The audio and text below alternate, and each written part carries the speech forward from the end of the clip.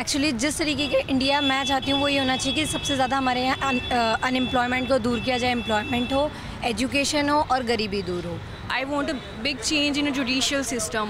Like it should be secure to everyone. It should be a secure place for every woman to roam around. Even it's a 1 a.m. or 2 a.m.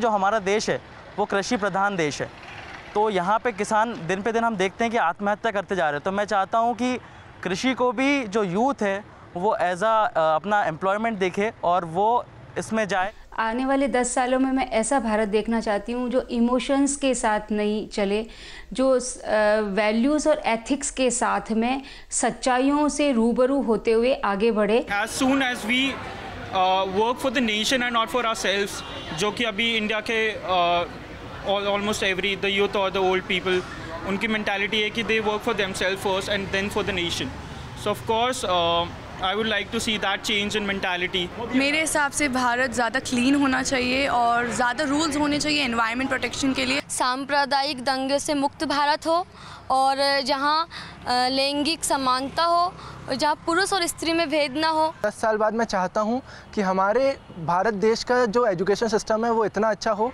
कि हमारे देश के युवा को बाहर जाके काम करने की ज़रूरत ना हो।